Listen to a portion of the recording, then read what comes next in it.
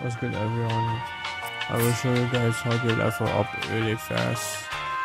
First, you have to find the ghost boat or the shipwreck boat and let them attack your boat until it is like low health, like half health. Now you just drive back to the island Tiki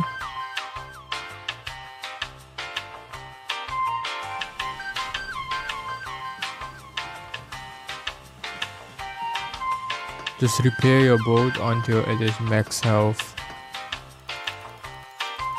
Make sure you give this video a like.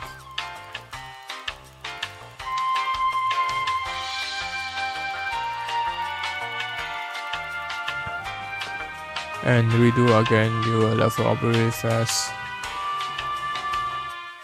Here's the video of showing you how to get wood real fast